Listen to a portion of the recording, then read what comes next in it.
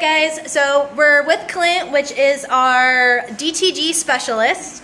Uh, we are going to replicate this shirt that we did uh, in screen printing. You can see it's for, I believe, like Lollapalooza or something similar. Something that's for a sorority. It was probably a party. But we want to see how does this shirt, this screen printed shirt on a Comfort Colors, compares and contrasts with a DTG printed shirt. So we are, we're with Clint.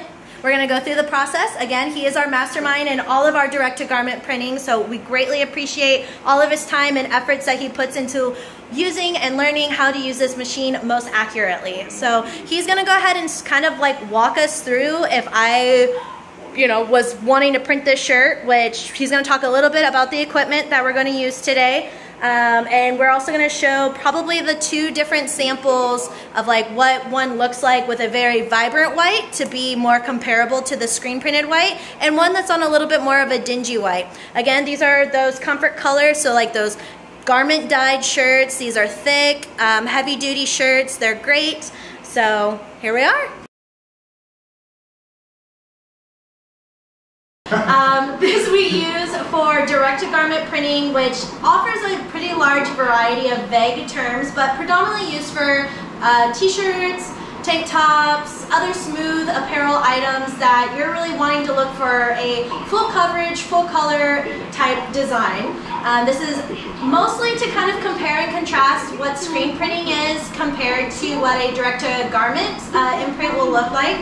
And a little bit later in the video, we'll show mostly what we've done in screen printing and how the like the amount of time that it takes to set up a seven color job versus the amount of time it takes to print the similar or same, pretty close to the same. We're gonna do two different options for you guys of a same full color design here.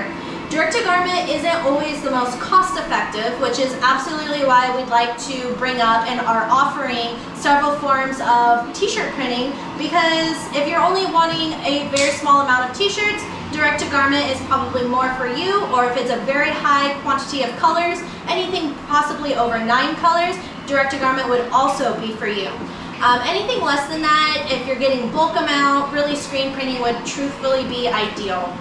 Um, as always, we really appreciate you guys and I hope you enjoy this very quick Yeah, so with the DTG machine, we're working with a water-based ink. And when you do that, you have to apply certain chemicals so the ink would really adhere to the cotton garments. The primary tool that we use is the pre-treat. And we're going to apply it with a spray gun today. Uh, we usually have this big, bad, awesome, very efficient machine but it is made from Germany, and the LC East re went on on us because we are doing dun, so dun, many dun. orders. So that is kind of the downside here today, but we'll still give you the whole walkthrough of how it actually works. So, so uh, while I'm going to kind of go back and forth with you, so um, how this kind of works is he showed me earlier is that typically you would load the garment in here relatively as kind of straight as you normally would. This machine is very smart. He had mentioned it kind of knows how much pre-treat to lay down um, based off of, I'm assuming you can put in information like the color of the shirt, yeah, the design, yeah. consumption. control the speed, the spray, how many times it goes back and forth. There's so many options. It brings it down to a science. So we can spend exact pennies on the dollar for this exact process. And this is important because you don't want to have a lot of waste. You can kind of see that there's like separate like containers and you know this is a very expensive process as mentioned. It's not essentially like affordable for every print job. So you really want to make sure that things are dialed in just so then that way you as a business are also working as effectively and paired with you as a client, you want to make sure that you're retailing a nice marketable shirt that your clients are going to want to purchase or you're, that you're able to sell. Um, so the shirt does go inside there, and then these are like the nozzles that spray this special solution. Um, it moves back and uh, forward and backwards um, and down to coat this whole entire shirt normally because that design that we're printing um, is, as mentioned, is this not a full, full design, but a 12 inch by, I want to say, eight inch area, my finger measurements there, maybe about nine inches tall tops. So he would here with his makeshifts, you know, which he doesn't really want to be doing this because as mentioned, this has no guaranteed control except his hand, which is great. This is, you know, he's a problem solver. That's what people always need to do. But in the time being, he doesn't have that control as that nicer machine does have the ability for. You know, one of the biggest downsides with doing it by hand is that if you have the 12 inch wide design and let's say you only spray 11 inches, you're gonna have a very faded, nasty looking edge on that design and that's no good. You can't resell that. So with this thing here, pretty simple. Turn it on. Usually, usually we go one spray, but we'll go multiple passes if we want the ink to really, really pop. And since we're comparing it to a screen print shirt, we're gonna do just that. Step two, cure the pre-treat, dry it, however you want to call it. This is step two. Typically, we use the heat press. We do have some conveyor dryer options for the DTG, but curing this is a little more of a task. I was gonna ask you if there was like a personal preference here or anything that you, I've heard people online mention like, oh, there's like a ring, like a heat Yeah. press ring or something like that. Right. Like, how do you avoid problems like that? Is it during the pre-treat or is that more of after the printing process? So it happens kind of during both. You're always going to have a bit of a line because it does require a tiny bit of pressure, but there Does is- it wash out? It will wash out. As a matter of fact, on single orders that we ship out, by the time it gets to the customer, there's no line. Perfect. It's been in the post office, it, it's been in a mail truck, it's been in a mailbox, and that's gone. Wonderful. There's no scorching here on the pre-treat, particularly because of our fancy knob right here. We can turn the pressure up and down, as well as this knob here that releases the pressure and turns it on. So we have it set to a light pressure where we don't tamper with the garment too much. Um, just for a close-up, how many seconds was this? I missed it. So we're doing 40 seconds to let this fully dry. Okay. Um, do you ever re-lift it or anything like Yeah, that? so this is automatic. It'll Okay. pop up when the timer is done at Okay. 40 seconds. It heats at 330. Okay. Um, for garments that may be like a charcoal or heather, we turn the heat down a little bit because those are known, known to scorch a little more. So, but for these comfort colors, they're pretty standard. They're beefy, really big fibers, and they can kind of take the abuse, for lack of better words. But we make sure that we're not hammering it down too hard. Cool. And you guys kind of saw when he pressed it down, it was, like, yeah, look how light that is. So Yeah. not like HTV, which you guys have seen me do HTV before. And you can still see some of the pre-treat still here. That is Okay. a testament to how light we press this. Okay, and you guys can kind of see, look, this is where there was no pre-treat. This is where there is. And actually me touching it, which I hope that doesn't mess anything it's up, but you can kind of, it does feel a little damp to the Yeah. touch even. So, So- now he has to invest another 40 So, seconds. Another 40 seconds. Another 40 seconds. Sure. So We we've do this all the already not only invested time in the pre-treat area, we've also already invested approximately two to three minutes in this heating station as well. Yeah, and you know, unless you're running a multiple heat press area, you got to take turns with these. So when we start printing, sometimes the print will sit on the printer for a minute while this pre-treat cures, so we can start the next one. So you know, it is time consuming sometimes, but we are very efficient when these orders come in. And I was gone. Should shave. It's all good. Boom. There we go. All right, so now we're back at our second hit. You can see that it's nice and dry. There's no different tones to the shirt. It's dry to the touch. It doesn't even feel crispy. I feel like um, the technology with the direct to garment. I remember before when we would pre-treat stuff, Yeah. it was so like Stinky. Yeah, and yeah, it was Yeah. totally different. This is a so game changer. You know, and down here you can see this is where the heat press didn't reach. Okay. But the design won't go on there, and this will dry by the time I get it in a box or a bag. Perfect. So,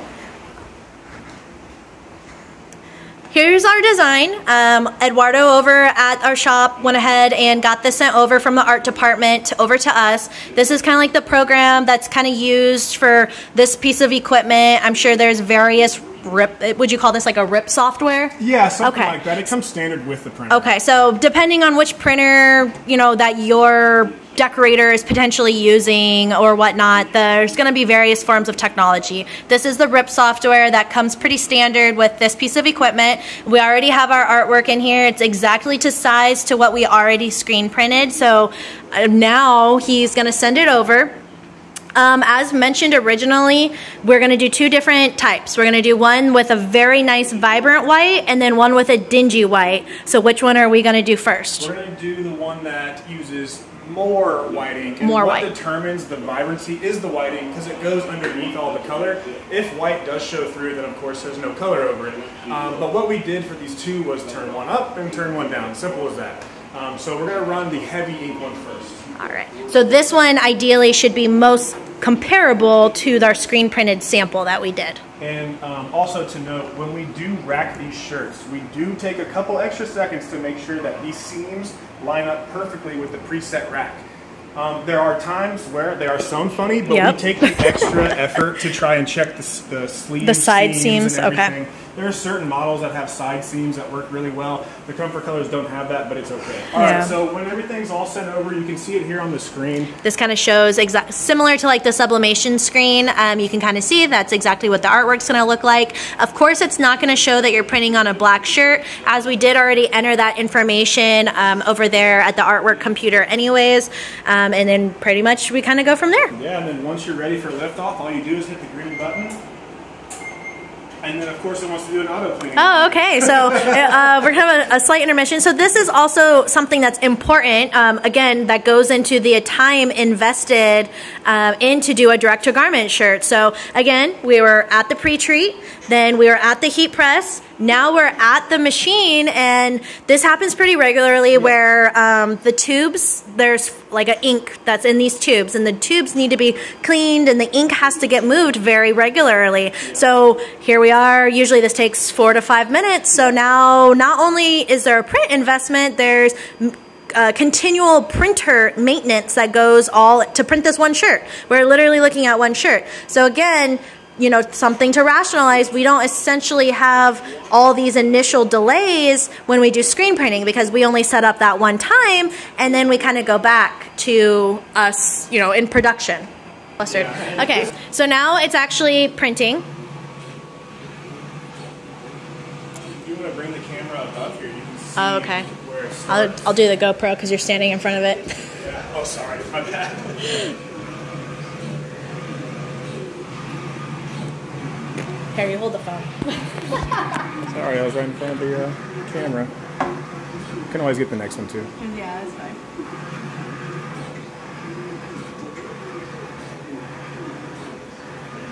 Being a content creator is difficult. Yeah, it sure is. Okay, so interesting. Wow, wait, did we we didn't print that black, did we? I'm about to I can't wait to compare this. I can't Oh, wait to see don't? them side by side. I wonder if we, I don't think we did print that black. Didn't we select no black? Because Yeah. if you see here, there's think no it black did. at all. That maybe it's a hint That of must be a different color or something. Yeah. Okay. So that's a testament to how literal this machine is. You know, it'll take the exact color and put it on there. We're gonna so this, this. literally came off the press and i'm already noticing interesting things that like are we didn't print like via screen printing and this is the direct um, artwork originally from our client. So you can barely see it but there's like some music notes on this. I think it's like a record UFO, and they're actually not even on this shirt at all. So you can just already tell it picked up. Here's some various golds. Or no it looks like we printed two golds too. Maybe it's half tones i'm not sure but there's multiple forms of yellow right there i'm gonna have to whenever we get back to the shop we'll talk to eduardo about it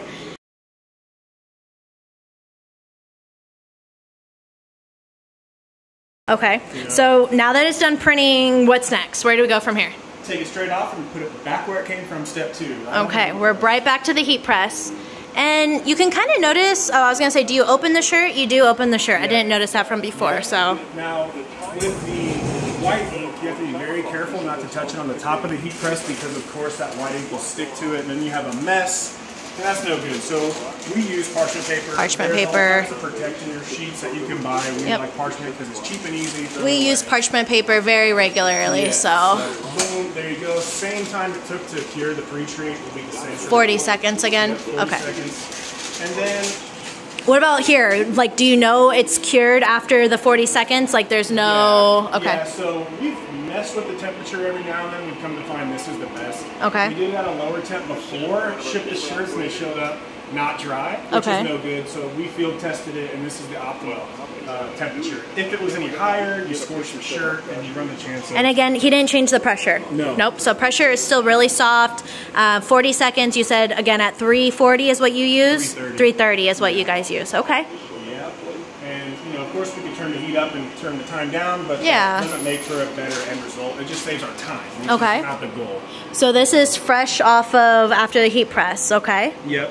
So Interesting. You know, so I'm touching it. It okay. is a water-based ink, right? Yep. So you're not going to have that same plastisol stick Correct. to it. The this color is matches. soft. Like I don't want to say it's soft because soft to me is more like a suede print, but definitely not nearly as thick. And I'll, I'll do a side by side a little bit later. Um, and again, these are on garment dyed, so this even though like visually over there to here, it still looks pretty vibrant, but you can definitely see much more pigment of the Yeah. shirt because you heated it. No different than us if we weren't using. We use uh, special plastisol inks. Yeah. People hear me talk about them all the time. So Right, and you know, like we said earlier, this is a big vintage style T-shirt. Those grooves of these cotton are bigger. If Yep. you used a Bella canvas or a next level, they're really, really tight, and that ink sits on top of it, and it's beautiful. Not saying this one's No. but the other garments we can play around with the vibrancy. Absolutely. I really wanted to just do this side by side, you know, on the very similar particular garment. So that's perfect. So we do have one final step Okay. that we do, and that's we, we call it cleaning, but I would consider it maintenance, right? So of course during the sticky process of the pre-treat and you're over here at the heat press, some dust gets on the shirt, of course. So we have these industrial-sized sticky sheets that we lay every shirt out and make sure that it's clean. Because if you get a messy shirt, chances of you getting another one are zero, right? So we take the time to make sure that you get it clean. We preach, preach, preach, preach about quality control. So this is super imperative, especially for me um, and or any of my clients. I really want to make sure that you guys get a very end result, happy, happy finished garment. So this is just some sticky pa- paper. Just, just some sticky paper, big industrial sticky I was like, I actually know what this is. This is actually bling paper, everybody. we'll do a video on bling at a, another time, but this is bling paper. This is your It- introduction to the cross contamination. yeah, this is literally uh, bling paper is unforgiving. Like, let me just put it like that. So if you want to see, you can see some dust particles. Okay. here, and they'll just go away. Not only is this sticky paper, but it is the most static paper I have ever experienced in my lifetime of this industry. Yep. Cool, And okay. It's, it's just the best thing ever. Look at that. Yeah, so look at that. it Picked up some. You can't really see it, but it looks, yeah, and- there's gunk if, on there. If you're shipping a black shirt with a white shirt, you don't want the black fibers on there either. So it's important This is the just take care of any of those loose ends, and then now this shirt is all ready for pretty much packaging at this point. Um, bulk orders obviously are usually boxed up, but there can also be independent orders as well. And there you go. You have a brand new T-shirt. Thank you, thank you, thank you. Boom. All right, so we're doing the second shirt, which on the second shirt we didn't want to have that super super vibrant white, which is which on that last white we just did standard. We didn't add any extra white. So here we're I think you dropped the white all the way down to basically just the thinnest pass basically. And what the machine's gonna do is go ahead and print the design again. He was explaining to me that there's two print heads inside of this machine. So on some other direct to garment machines I've seen where it'll print all the white, the whole entire palette pops out and then it prints the color. Whereas this machine does everything all inside but it never actually comes back out in between the colors. So So we uh, we received the both of these designs earlier. I went ahead and switched it to the lower white ink one. You can see if you go back earlier in the video, this is a lower amount of ink, obviously. Um, so we try and help out. Uh, I'll have to put those numbers in the video because Yeah. y'all aren't going to be able to see that. But it basically was like 7.8 cc's of ink versus 4.24 cc's of ink. So a little bit different. And Clint is so awkwardly taller than I am, and I'm not used to it. So you squat down. sorry, sorry. Okay, so he's going to send this second shirt. It's good to go, and it's going to print. difference. When you pull it out, you might see a little difference, but um, it's amazing how much less ink it use, uses and how similar it could actually look. Yeah, well, that and it's so tough because their garment dyed. Now, if you were to do that on, you know, a Bella, like you said, or a Next Level, or even some of those um, the Gildan ones that I've been sending you lately, you know, it there I think the noticeable difference would probably be higher. For sure. No different than like us with the ink doing one coat of ink Yeah. or two coats And, or, you know, or vice versa. Perfect with these garment dyed shirts though, because people want that kind Vintagey of vintage feel. Look, so it kind Mm-hmm. of marries perfectly.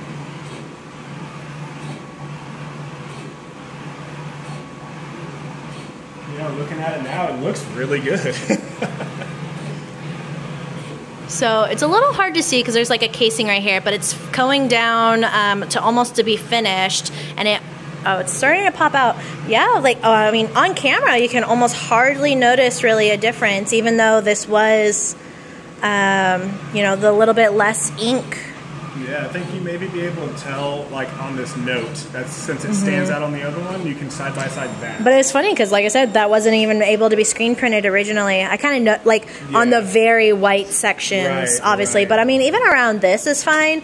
That's kind of like a disco ball. So, like me as a client, I probably wouldn't be like tripping about that. But to me, that's where I mostly notice. Right.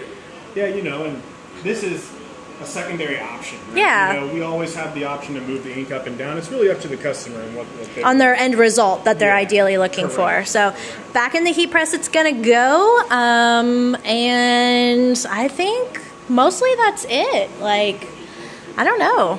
All right, we decided to surprise y'all with a third shirt. And so this shirt is a next level, is this a 6210 or a 3600? So this is a 3600, is 100% ring spun cotton.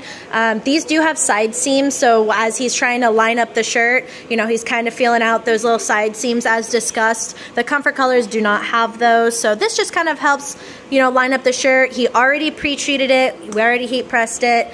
Um, he is gonna change the artwork to do the are we going to do maximum? Are you going to do the same amount of white or We can do maximum? the same, or we can turn it up. I think we should do the same Let's- so you can side by side. But the same with the lowest setting or the normal setting? Okay. So this third shirt will have that very first setting. So like the standard white ink placement on here. And so his big, you can go ahead and send it. His big thing was that the fibers of that comfort color shirt are so spread out because it is garment dyed. Um, it is just a thicker, beefier shirt that on shirts like this, this next level shirt, for instance, the fibers are very close together.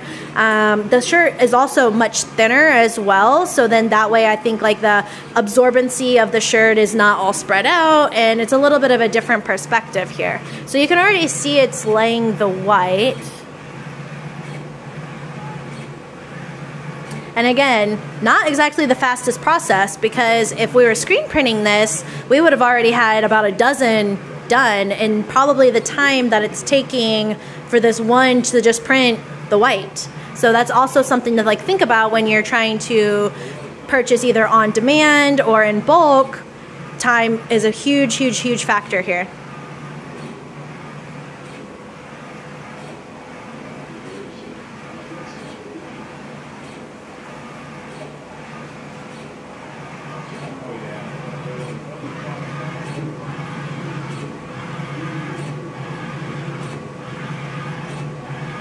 The purple's almost completely different mm-hmm. compared to the other ones. Absolutely. It looks closer to the screen print. Yeah.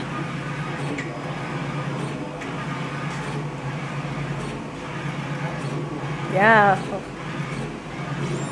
Definitely pretty close. So this is the screen print one, and this lighting makes it terrible. But I'm gonna go back to the shop and we're gonna do pictures and stuff like that. But this, before getting heated, definitely looks closest to the the originally screen printed. Although the screen print is on that comfort colors, but this is a very very close Yeah. comparable. And, really, you know, the white. Like we said earlier, it is a water-based ink, so the garment does have some effect on it. If we did a, it if we did a cream but- color or a heather gray or things like that, it would look almost identical to the screen print. But you got to keep in mind that first DTG printers didn't print on black shirts. Yeah. So the technology's come a bit of ways, and they still have more room to go. But those lighter garments really. Alright, so that kind of wrapped up our DTG projects here with Clint today. We're gonna head back over to the shop and kind of compare and contrast um, all the projects that we did, our screen printing projects, alongside with all the projects that he did with us today for the direct to garment. So thank you so much. Thank you for Yeah. being our specialist. It means the world to us. So thank you so much, and y'all stay tuned to some future direct to garment projects. Sweet. See y'all later.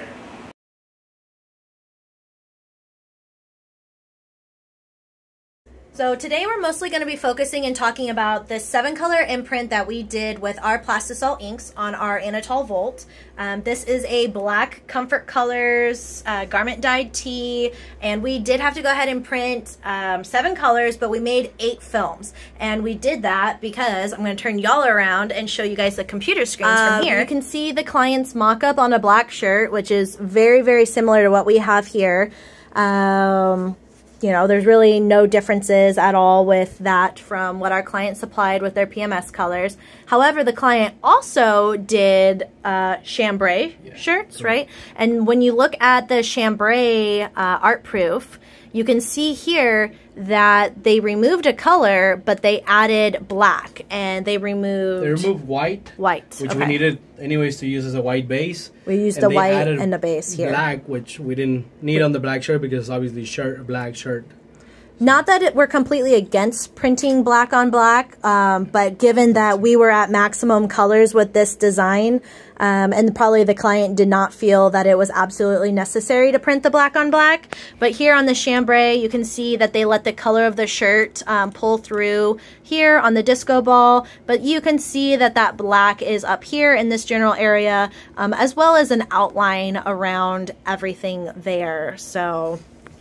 so this is where uh, he has all eight films, yeah. right? Okay. Mm-hmm. Uh, eight films. And here is like all the color kind of broke down. So the black, uh, yellow, pink, blue, green, purple, and then a golden yellow. So there are two shades of yellow used on this design, no halftones. And then this was the extra as the base base white, white for okay. the whole thing. For the whole thing. For the, okay. on, on, the black shirts only. Oh, okay, only on the black shirts. And then obviously on the chambray shirts, we did not print that white. So um, as you guys have seen in other videos, we obviously go and talk about us making films, but really I just wanted a little bit of information of like, hey, this is what the artwork looked like. This is our actual finished product with the screen printing, and we are gonna go look at how DTG compares to this. Um, over from Clint, and we're gonna go ahead and show Eduardo the direct-to-garment samples that we did. Uh, we did do those two, one with normal white ink and then one with a reduced amount of white ink.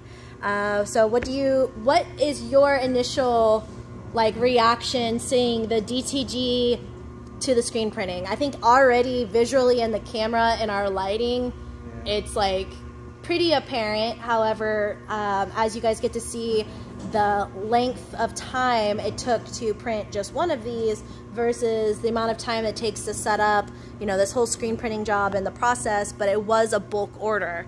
Um, but visually, like side by side, they obviously look one way, but yeah. how do you feel? Like if you were to receive this shirt, what would be, would you be happy with this still? Yeah, I'll still be happy with it. I mean, all the colors are there, not super bright like I anticipated, because this is DTG. Mm-hmm but I'll be happy with something like this, honestly. I'm not against it. For as many colors as it is. Yeah. And it is, to me, I thought it was pretty, um, you know, we had dabbled with DTG a little bit before. Mm-hmm. And to me, I thought it was pretty crazy um, how thick the shirt used to feel. Like yeah. with the pre treat and everything. And so remember when um, we that one machine that we had for like a little bit. So I did like that about this. Yeah. You know, you compared to this. I mean, I still know that this has a good body to it because it has a base, so it's yeah. already thick. Um, but to me, I felt like, wow, this feels, you know, pretty pretty soft. Yeah, it's like pretty wearable. Wear, yeah, say, yeah, really wearable. And then, like, obviously, this is only a seven. Well, here's an eight because we ended up printing the black. I don't yeah. know if you noticed. Yeah, I, I feel I filmed that part. So yeah. And uh, but yeah, like this obviously it does have them. It doesn't have any limit on how many colors you can print. No. So, you know, if you were to go with 10 color imprint or something like that, mm-hmm. I would be super happy with it. Knowing that, yeah, 10 color imprint on I think it was pretty tough printing. because this was obviously a garment dyed shirt. Yeah. You know, and I think one of the big perks of us using, you know, the ELT inks and the specialty inks, it's you know we don't have a lot of bleed through yeah, whereas i we both believe because this had been heat pressed you know three four times by the time everything's said and done there is a lot more bleed through you know as yeah. well so Cool. I'm pretty happy with it. I mean, I can. I don't know. I would I would wear something like that, and I wouldn't mind it not being super bright. Yeah. I guess that's the only comparison that I can make. Yeah, visually, visually seeing them side by side. So. Put it next to each other. Yeah, I'll probably take some pictures. So I don't know if you can Yeah. tell in the video. possibly it's on reverse. So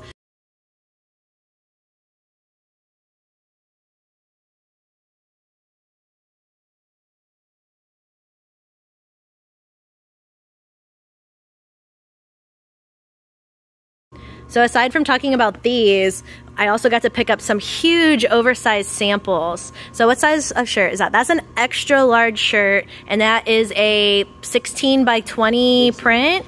So, and this is also DTG, it's a direct to garment. Um, you can kind of see that it has natural distressing to it. Um, but it looks super cool on this tie-dye shirt. So this is another option or alternative that we could do um, for direct-to-garment versus screen printing because we can't even we don't we don't even screen print this big. So um, so this opens up the doors for us to be able to offer um, some different opportunities for some bigger oversized prints like this. Uh, open up the other one as well. There's one more.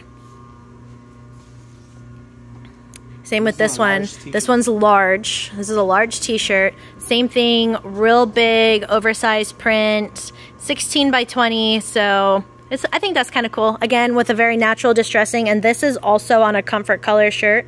Um, kind of gives that nice vintage vibe. This is probably printed with a less of a white deposit because it's not very vibrant.